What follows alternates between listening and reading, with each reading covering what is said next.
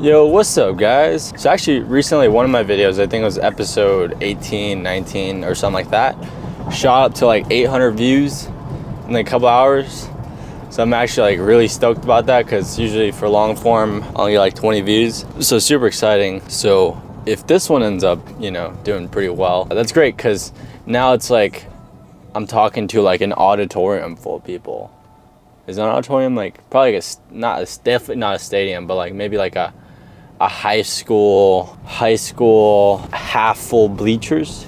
Maybe a high school football game, half, half full bleachers. Nah, like a full, yeah, definitely like a basket, a high school basketball game. Every bleacher, bleacher row filled up, watching me talk about bullshit. Pretty much talking about the, the raw reality of being uh, an 18 year old entrepreneur. It is a lonely thing, even though I'm, I have a big team, I have people I love. It's it's overall a very lonely journey. Okay, it's that's what's real, and that's just what is what I feel. Is I feel alone in this journey.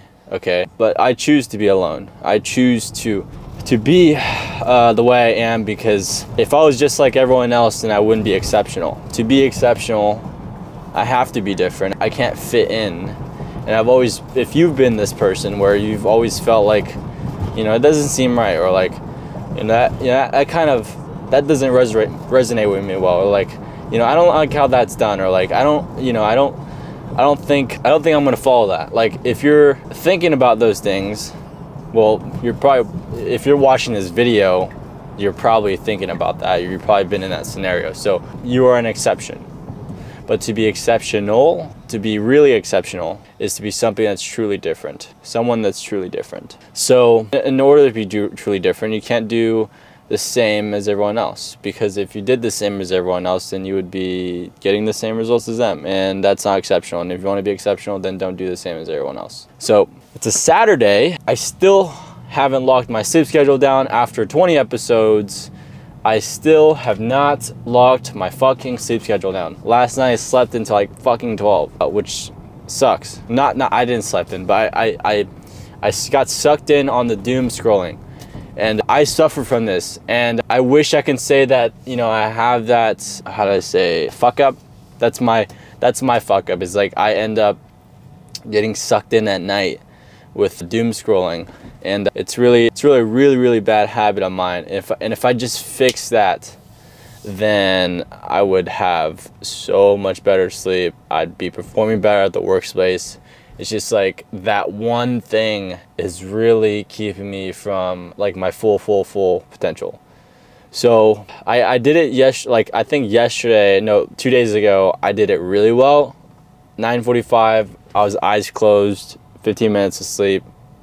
That was perfect. That was really, really perfect. So I was happy about that. But next day, I end up doing this shit. It's like, fuck. And I don't, you know, I'm not gonna accept, expect myself to sleep at the same exact time, but I don't want my sleep times to be two hours apart, you know? So why is it so busy? What the fuck? Oh, he's gonna hit that guy? No way. Oh my gosh, I don't know how you didn't hit that guy. How'd you not hit him? Okay, where the fuck are some spots, yo? And then tonight I'm gonna go to my favorite spot to chillax. Well, really not chillax, but to work. But I'm gonna be back by 8.45 or like latest 9 so that I can upload all the footage and start taking my sleep supplements and then putting on my red light glasses and all that shit. Oh my gosh, there's literally no spots here. So I really have to start winding down. I have to start taking my supplements at like 8.15 for sleep. So yeah, I mean, I'm, I'm like really serious about this stuff. I gotta be super strategic about this sleep stuff. So it's actually really cold. It's like not really cold, but it's 48 degrees today. Just did the cold tub. It's a little early because I want to make sure that I don't stay at that, that place for too long. Um, because if I do stay for too long, then I end up messing up my sleep and then it messes up tomorrow and it's like this like vicious cycle. So I just prefer not to do all that shit. Is this person about to leave? You trying to leave? Okay, he's not trying to leave. Last time I went to this LA Fitness, I uh, I did not have a good good workout, but you know, just gotta get used to it, get in my groove, and then and then I'll be chilling. Yeah, Dave and Buster's popping today. Where the fuck is spots? Fuck, man. I've been in this parking lot forever. Hey, this is why This is why I get a private gym membership. Right now I can't go to my private gym because or a private club because stupid stupid club we have a dispute with them right now. And it's just the biggest misunderstanding ever. So stupid. So i'm having to go to la fitness in the meantime while that all gets figured out. So inshallah. Inshallah it gets figured out. Gosh damn this fucking guy's so close. You know fuck that. Go oh my i'm so tired of this already. I'm just gonna park in this free open spot right here. I don't give a shit. Like an Asian mom. All right, it's time to fucking work out. All right, I just got done. Pretty short workout. It was only like 40 minutes or something like that. But at least we got it in for today. All that matters is you showed up. And a lot of people don't even fucking show up. So showing up is better than, than nothing, than not showing up. So my, I guess my brain or my clock is still treating the weekends differently, which I hate. Like I just want, I don't really care what day of the week it is. I just know Sundays for pho. That's it. And, and really that's all. And it's just my damn, damn sleep schedule that I need to lock in. Lock in that, get my cortisol blockers, lower my cortisol levels and stuff like that. I did notice, or I did do some research on the stuff that was in my sleep supplements and the cortisol blockers that are from Gorilla Mind, they have a, a substance called Imodin, which is an old Chinese kind of, I guess, remedy for, I forget what, what it is treated for, but something that was used in maybe ancient, ancient, ancient Chinese cultures. Uh, but pretty much, yes, it will lower my stress levels and anxiety levels, but it will lower so much to where I become dis- desensitized to pretty much all emotions, which for a lot of people is not a great thing, or for uh, actually any anybody, it's it's not a good thing to not have emotions or like cortisol is not all bad. Like you gotta have cortisol to actually operate as a human. That's what actually gets you up in the morning, is having those cortisol levels spiked. So I definitely don't want to take this right in the morning. I want to take this at night to, to for me to wind down. It looks like there's a huge wreck here. It looks like huge, huge, huge wreck. But I'm gonna pair this with my sleep supplements. I mean, I, I just feel like for those nights where, you know, I have um, on my mind, I'm just gonna take them. But I mean, I usually always have a lot on my mind, so I always try to figure out in my head, but that's not good because you can't do anything. And actually, your brain is, is pretty pretty good about this stuff. It it doesn't is it doesn't work on what you're already good at. It works on where you're deficient at. So if you have problems that you're trying to figure out, it will actually kind of figure it out while you're dreaming, uh, which is really really really interesting. Is that like there's there's stories of well you hear it all the time. hear musicians trying to figure out this note and trying to figure out how to play this thing and then they just can't get it right. It's like one, two, three, four, one, one, two, three, one, one, two, three, one, one, two, three, one, and they can't figure it out. They do like one, two, three, two, five, six, and it's like, oh wow, what happened here? Oh, it's a big wreck. Oh, that's a big, big, big wreck. But pretty much they're like, man, I can't figure this out. And then they go to bed, and then next day, just like it just flows in their head. It's just like one, two, three, one, four, one, two, three, one, four, one, two, three, one, four, and it's like they didn't learn anything new. It's just they just let themselves sleep, and then for some reason, sleep figures it out, which is really interesting. And I think it's I think REM does that. I think when when you REM is pretty much short for rapid eye movement, and it's your dreaming phase. And I've also been trying to.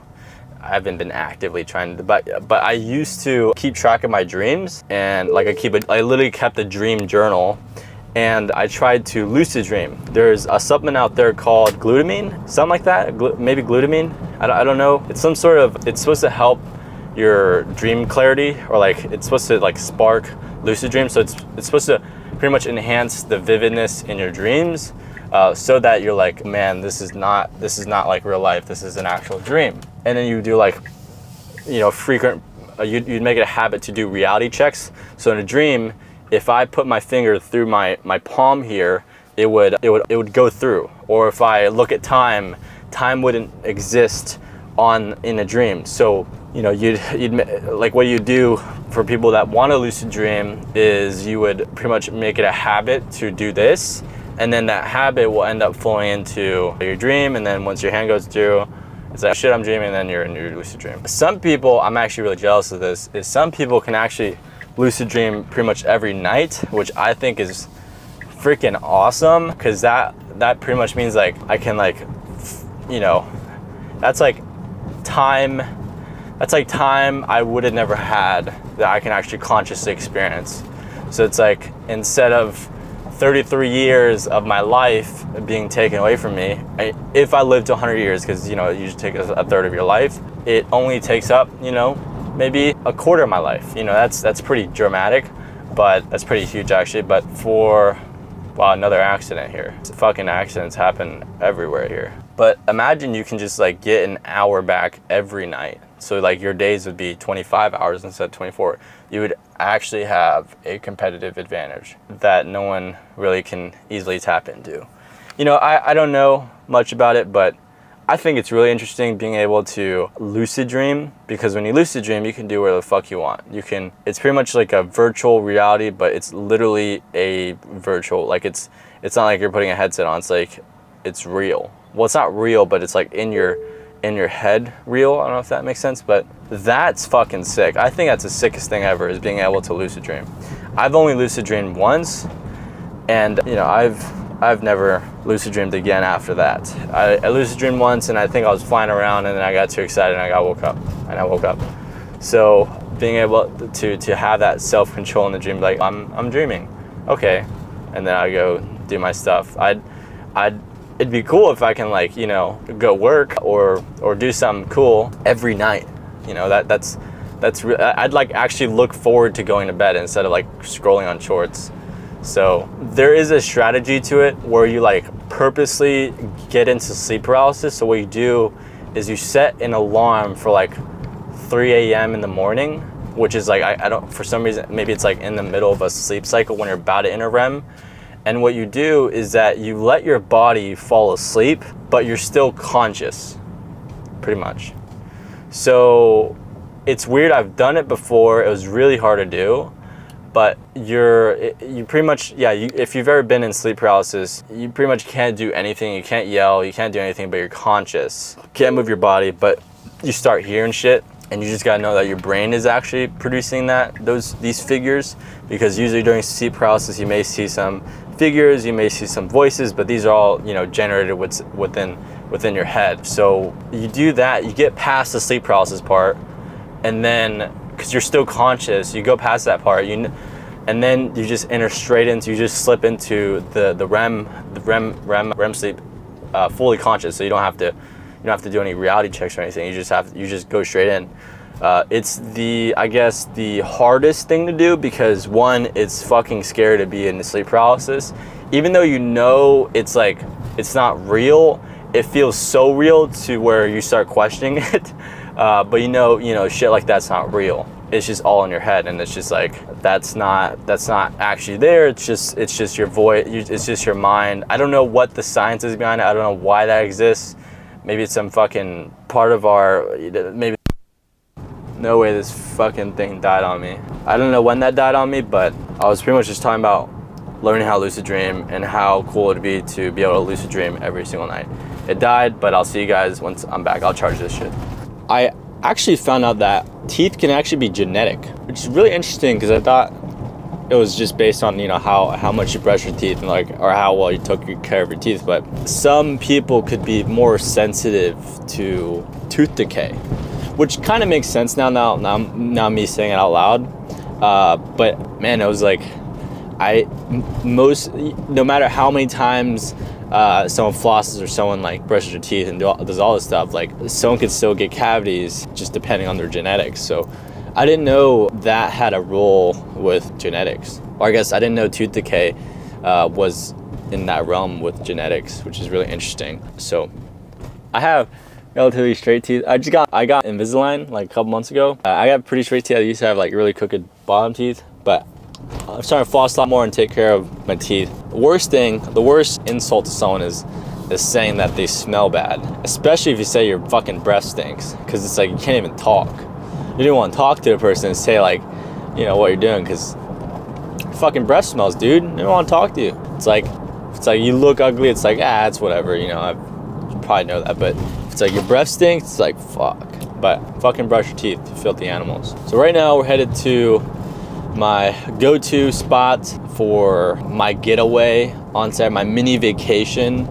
I guess you call it. This is what I look forward to on Saturdays. I should probably do these on Fridays, but I ended up getting way too busy yesterday. And if I went, I would have got home really late. So I'm going now at like in the evening, so I get back home at like nine or hopefully earlier because that's a little bit a little bit late too. I feel like a grandpa because uh, I usually before I'd I'd have no problem coming home at like one or two. Like I'm not I wasn't born like this. I was this is just uh, I have to be in this season of kind of monk mode and like even if I'm not in the season, I actually really enjoy being able to do this and being able to feel good every day.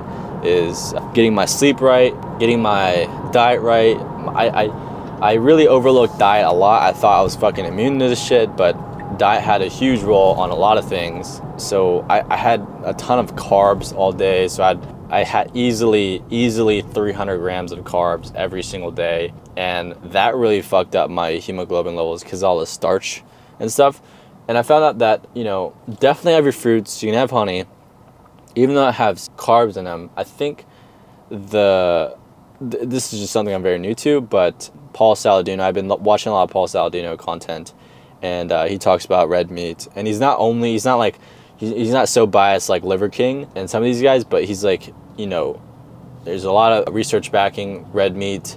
Um, and he's not just only red meat, it's like chicken, it's really hard to find really good chicken, and it's really hard to find really good pork. And most of the time, you should probably just avoid pork. Uh, it's probably why the, the, the Middle Eastern people avoid I think that's right. Middle Eastern people. Sorry if I get wrong. But their their reasoning was like you know pigs are are dirty, and uh, and I think pork is like one of the lower quality meats that you can get. The highest quality meats are probably definitely beef, bison, uh, elk, uh, and then lamb. I think are the the ones where you can, you know, most of the time you're getting good stuff. But if you're going to Walmart and Kroger and getting some fucking great value shit, you know that's that's not good. But I mean, any beef is going to be good. Uh, but you definitely want to get. I, what I do is I go get grass fed and grass finished beef. Oh shit, I should be probably going that way. Hold on. Uh, but pretty much grass, grass fed, grass finished, and regenerative uh, farming. Uh, re regenerative cows, I think is what you call them. So I, I get them from this company called White Oak Pastures, or sometimes at HEB, you know, they'll have grass fed. I don't know if it's grass finished as well, but White Oak Pastures organic, grass fed, grass finished beef. Yes, it is pricey, but I mean, it's it's just the the that's just how it is for if you want to get higher quality meats like that. So, because with with a lot of beef, there's if it's not grass finished or grass fed, uh, I think there's it comes just with a lot of heavy metals and stuff. And it's just overall not good for you. Uh, so I think my diet is well my diet is really consisting of like a new york strip at lunch. Um, it's a nice lean cut. I, I usually cut off the fat on the on the end of it you know? So i'm not really too concerned about that. I'm trying i'm i, I do have i also need to order some more liver.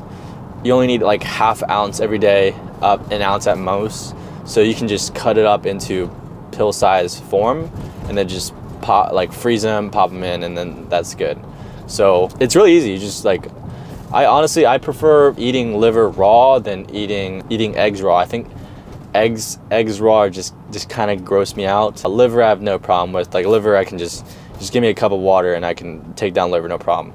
But with with with eggs, it's a little harder for me. Some people disagree, but with eggs, man, raw eggs, just, just you know, I have a friend that he like literally takes the whole egg, he puts in his mouth, and he like eats the fucking eggshells. That's fucking intense. Apparently, there's a bunch of calcium benefits with that, but that's just fucking gross. I, I, I mean, I know there's benefits to it, but it's just, it's just, it's just gross. Just have like, you definitely want to have more egg whites than egg yolks, because uh, egg yolks are, I think, high in no good cholesterol stuff.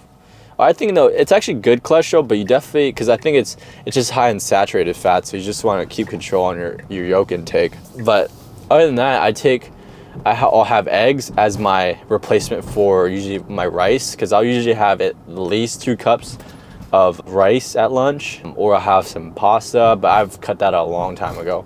if you're having pasta during lunch, discontinue ASAP because I don't know how you guys operate, but if you know if you can, you can. But all those carbs, you're slamming down lunch, you're gonna be so exhausted. You're gonna have a whole carb crash because all the sugars I, from from all the pasta and, and the rice. So, uh, and then you won't be able to perform at your peak capacity. So, what I do, here's my nootropic stack. I've I've repeated this many times on the channel, but it's it's a, a blend. It's a so I wait about an hour to 90 minutes, you know, after I wake up before I take this stuff because it hits pretty much immediately, and there's some sort of androgen re receptors. No, some some other receptor. Sorry, I'm not like expert on this stuff. But I just know kind of the the picture, the the full the the big picture of it is you want to be 90 minutes uh, after you wake up for caffeine or really any stimulants in general.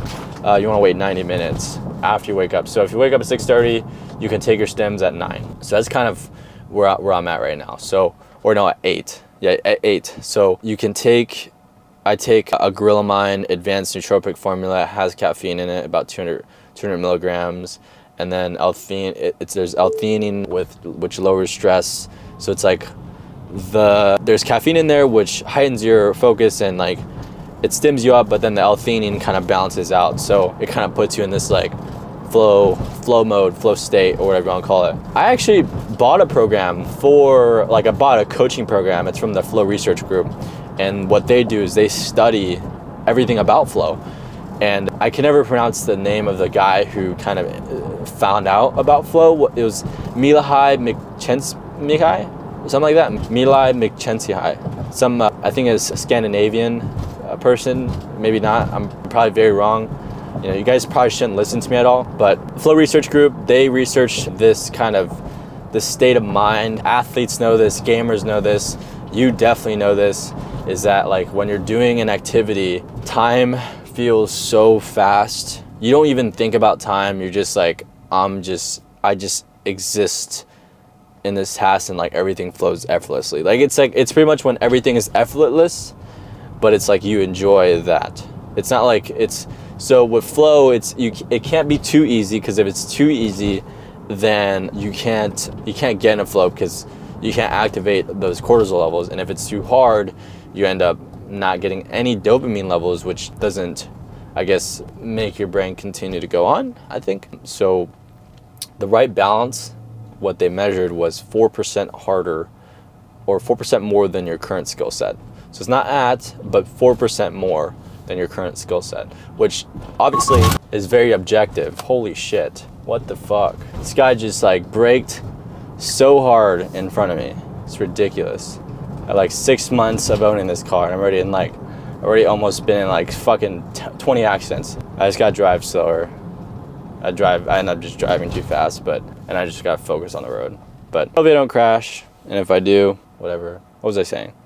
I was saying, I was talking about flow, yeah. So with flow, really wanna, what was I gonna say? about flow yeah so for flow it's a it's a state of mind where everything feels effortless uh, you've experienced it before for sure. Like maybe where you're playing a sport you're playing soccer or playing basketball and you felt like you know you can make every shot.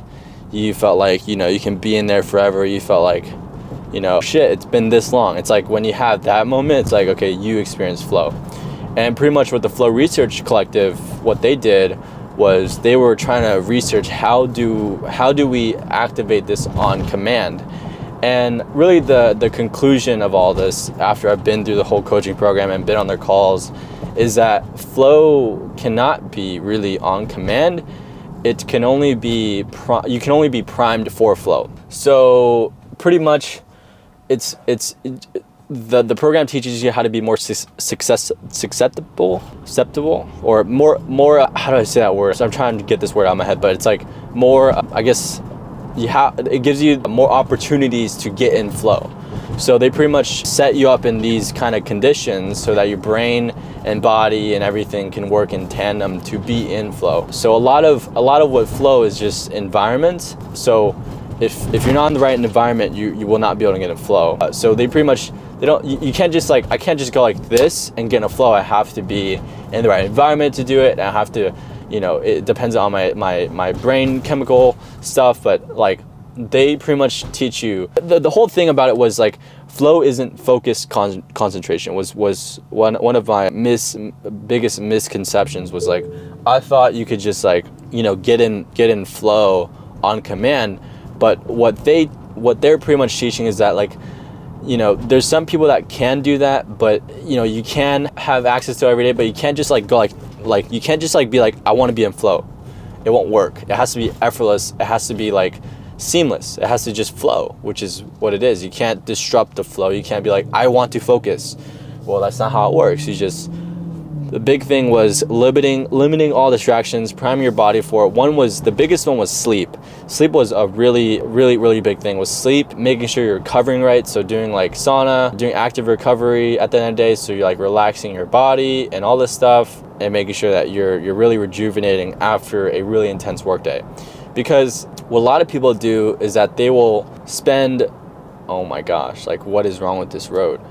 They will spend more, they will spend eight hours trying to boil water at half heat than you could have just, or, or like you, you, you spent more time uh, boiling water at half heat than you would have just, just put on full blast for less time. So that's pretty much what flow is, is that your productivity is is like I think it's like a 300% increase in normal productivity levels and so you can get more done in less time but the thing is the thing about flow is that you just end up i guess your your brain i guess the neural pathways are able to solve problems better or like your memory picks up better and, and this stuff. So i mean i don't i don't know the all the science behind it but at the end of the day whether you get in flow or not it it really matters on what you're doing in those hours that you're working.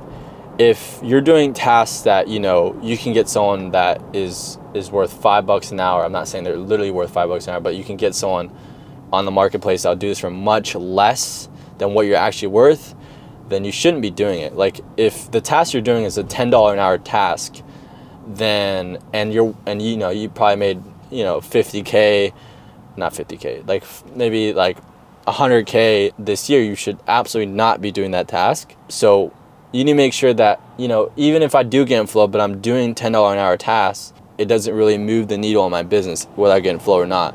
So it's really important that you, before you even think about this stuff, is that you draw the line with like, hey, what, what am I actually worth? Okay, Dan Martell talks about this is like his buyback. It's, it's called the buyback principle. And what you do is you do your total income for the that you brought in from the company, okay? Your total amount of income, okay? and then you do divided by 2080 so then you get your hourly rate so anything lower than your hourly or you do you get your hourly rate and then you do divided by four. And then that's the amount of money you have to be able to delegate to that you should be delegating to someone else is, is a quarter of your buyback time your, your hourly rate. So that would be your buyback rate. So let's say my buyback rate was like 40 bucks. That means i can get four maybe six people, you know, from, from offshore to, to help with tasks around. So, or just get one person that's worth 40 bucks an hour to do something that I would have done, uh, but they maybe are better at it or they love it more or like all this stuff. So like, I, cause I hate data entry work. So that's why we hired someone for it. It's like someone who, who actually loves the admin tasks and does all this stuff. I think that is one of the, the best hires is, is, uh, is getting someone that can do admin or my best hire was actually someone who, an executive assistant. It's really important because they should be the gatekeeper to your time. They should be able to really, really protect your time and, and not have to drag you. A, a really great executive assistant is someone who doesn't drag you in to, you know, stuff that's really not worth the time. They know what your time is worth and they do everything in their absolute power to be able to pretty much be there be you without you being there. So they have to be able to make decisions on your behalf and, and, negotiate on your behalf. And obviously that comes with time with your with your EA, but that's where you really get back a lot of your time is when you're able to have someone make decisions that you would have made on your behalf. And being able to to hire someone from that for that is I think, you know, one of the best, if not the best hire hires once you've kind of gone past I think once you've gotten past, you know, even 100K, uh, I think even 100K, I think at that point you should have at least a personal assistant Uh, I think it's absolutely worth the money. I think it's worth worth every penny. Is an executive assistant. Can I park here? No, I can't park here. So the first, really the first hire for something like this, an assistant in general, would be like an administrative assistant. So someone who organizes the spreadsheets, does all the mission, like the, the tedious work, like the really tedious data entry work that's crucial, but it's just like, it's not, it's not high income producing activity, but it is needed to operate a business. So like someone like that is worth, you know, you can find someone offshore for like five bucks, 10 bucks an hour, no problem. And then once you get a personal assistant, that's like 20 bucks. EA, you can go around, you know, someone 30 bucks to 40 bucks a month or not a month, an hour. And then, and then you go chief of staff, which I'm not there yet, but chief of staff, I'm assuming would probably be like 80 bucks an hour, uh, somewhere in that range where they actually are operating, you know, your companies pretty much. They're like she's, or, or like he or she, and I, I, I prefer a woman doing this because for some reason, women just do it a lot better with this type of role. So yeah, I will be back. All right, I'm headed back now. I, uh, I met this kid, he's 16. He's a junior at a school close here. And I just had to talk with him. And the kid is genius. I, I, I thought I was hot shit. Oh, fuck. Now we got, now we, now we really got a prime example of someone who, who will genuinely surpass me tenfold. Good. Now I got even more drive. Now I know that this kid out there, 16, he's fucking getting after it, you know? So it's time for me to fucking go. That's how I kind of motivate myself. There's not a lot, there's not a lot of self-motivation going on. David Goggins talks about it, you know, about self-motivation. You know, you gotta learn how to self-motivate. I don't do it enough. I've just been doing this shit for so long. It's like, I don't need to motivate. It's just like, this shit this is what I do. That's all I do. It's just work. I think it's time to really lock in. It's 8, 8.30, kind of going home, going to bed straight to bed. Well, I, I gotta upload this video, these video files first, but I'll go straight home or actually straight back to office and then upload the footage and start heading to bed. Prepare for tomorrow. Having a podcast with the kid. His name's Andreas. Very smart dude. He's had so much, such a level of success in the past seven months. Insane. Started from nothing. Insane. But with fast success, it's not always a good thing because with fast success, it creates ego huge ego. And I know this. We've had huge success with Astro Blaster, but I got caught up and uh, we weren't able to, you know, fulfill on every client. So providing that level of service at mass is definitely something that has been a real challenge for us. But we're, we're very close to cracking the code. We're very close. And I've said this many times with the team, but this time I really feel like we're very close to cracking the code. And again, this is the story I'm gonna be telling. This is the story I'm gonna be telling. I got I haven't been investing as much as my my time in self-education as I liked. I definitely need to be investing more in self-education to learn more, to learn the skills required to go to the next level. That's something I, I've been really overlooking. It's like I think I've learned everything. No, you haven't, Andy. You have not learned shit. You've made some money, but you know very little about, you know, a lot of of this space. So sometimes, you know, I gotta humble myself. I'd be like, you know, I, I actually I don't know shit. I not I may know something, but I am nowhere near close to to my potential. You know, so I have to pour ridiculous amounts of money to learn and learn and learn and learn. And uh, I thought I learned quick, quickly, but man, this guy this guy was on the ball, very on the ball. I gotta take more courses. I think I'm gonna join SaaS Academy. That's I think that's where I'm gonna go. Do SaaS Academy. I mean, let me mark that on my my SAS. Once I get to a red light, I'm gonna mark that. I'm gonna try to book a call with them. But I definitely want to join SaaS Academy because they are a really they're pretty much a company. Oops, they're pretty much a academy for people like me. So I need to invest time and energy and money there uh, so that I can learn the skills required to stop client churn. Because I think I know shit about it, but I don't. I really don't. Or at least I do, but I need reinforcement on my decisions. So actually, I'm glad we're doing this, talking a lot of videos, because now it's kind of really dissecting me as a person and what you know I should be doing. Uh, I kind of I was in the shower today after my cold plunge, and I mean I'm listening to like a, a video from Alex Hormozi, and it's one of his really the the best videos that resonated with me the most was it was like the 28 ways to stay poor, and uh, I started thinking like, what what are like all the ways I can you know destroy my company? Well, I'd be very distracted with low leverage activities. I wouldn't you know give one-on-one support to every client. That's how you lose them because like I started listening to these things and it's like I found out that humans were so good at as humans we're so good at you know finding problems rather than actually having solutions. So this is what charlie munger does is that he he he developed this thing called inverse thinking.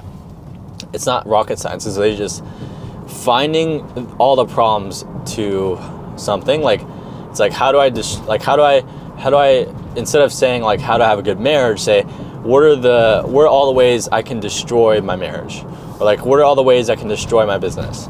And like you, you can start easily listing out all these problems because uh, for some reason us humans are much better at doing that instead of actually providing solutions. So what you do is you list all the problems and then you just do the opposite of what you just listed. So if it's like don't provide one-on-one support, opposite that is provide one-on-one support. So like that that version of thinking is is something I applied to not recently, but something that I've kind of traced back to now was like, you know, to solve problems, you kind of have to think of all the problems, and then, or to solve something, you have to think of the problems or the ways you'd kind of make it go wrong, and then and then and then do everything you can to make to to like to like just switch, flip the problem, or flip the the inverse of it, and then now you have the solution for that problem.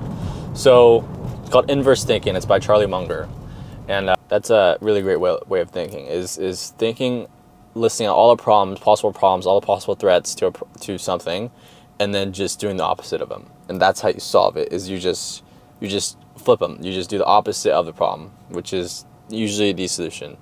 So SaaS Academy, yeah, I'm red, red light now. Yeah, I'm gonna download SaaS Academy and see if I can connect, connect with other uh, players in the space that are also doing this or like doing this like SaaS model where uh, we're, we're, we're kind of text message driven. Um, I know a lot of places where we can definitely improve, but we're starting to scale out the marketing side, which is great. Uh, but we need, I, am pretty much in charge of customer fulfillment, all that. So customer fulfillment is definitely a another story. So if again, I've said this before, but if the value is lower than the price they paid for, then they will churn. They will cancel, they will leave. If worse, they'll refund and dispute. So we need to make sure there's as large of a gap between price and value as possible. So the value has to be so much more higher than the price that they're paying for.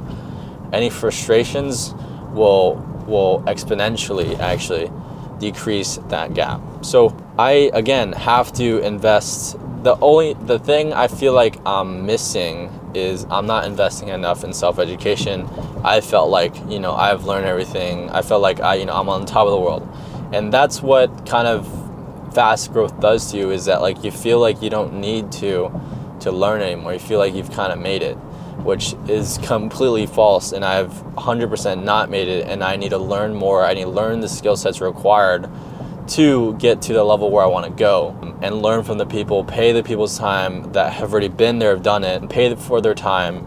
And uh, because that payment is nowhere close to to how expensive uh, mistakes can be. So it's really important that I get on that. So I'm gonna join SaaS Academy now. This this thing reminds me to is book a call with them, uh, pay whatever they they want to you know need. So just to learn everything about it, about what they do at SaaS Academy, what we'll learn. I, I think the biggest thing, we don't really need to worry about marketing. Marketing is handled, but uh, what I'm really more can, kind of interested in is how to stop customer churn and how to really equip our customer success people to really, really excel and to really make sure that the experience for our people is amazing.